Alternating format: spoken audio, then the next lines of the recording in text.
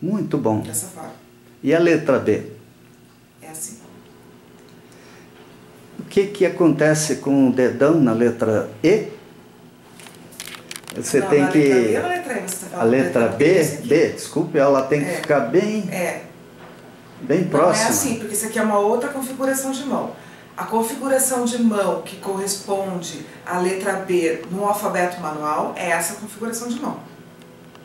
Exatamente essa. Existem outras configurações de mão é, partindo de- de- dessa base, mas a letra B do alfabeto manual corresponde a essa configuração de mão.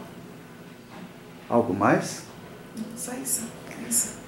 Próxima letra. já foi co- convencionado, né, que eu estava tentando esque- esqueci aquela palavra, que é o alfabeto manual e as configurações de mão, é uma convenção, já está convencionado, já é dessa forma.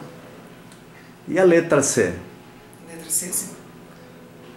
Olhando de frente, né? É. Ah, geralmente ela se apresenta assim, você sempre apresenta ela dessa forma. C, assim. Não assim ou assim,